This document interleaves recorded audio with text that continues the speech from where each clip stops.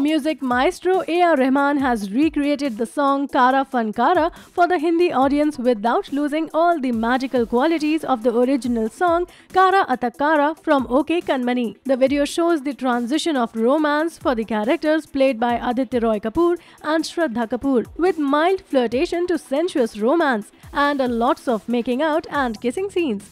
OK Jaanu is directed by Shad Ali and will be released this Friday.